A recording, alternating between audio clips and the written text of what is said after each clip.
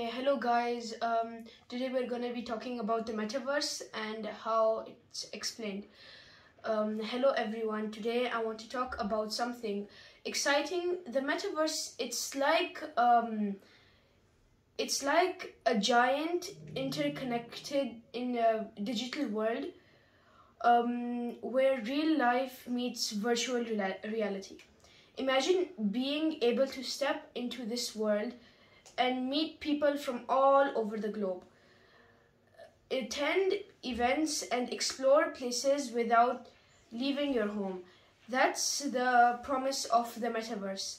It's not just about fun, it's about creativity um, and new opportunities. In the metaverse, you can create art, build cities, and even start businesses all in a virtual reality.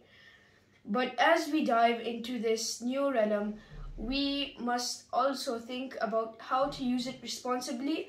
Privacy, security, and fairness um, are important as are important as we navigate this landscape, this digital landscape.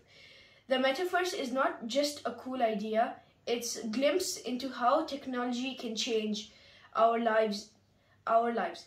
Let's embrace it with curiosity and creativity, make, uh, making sure to build a future that benefits everyone.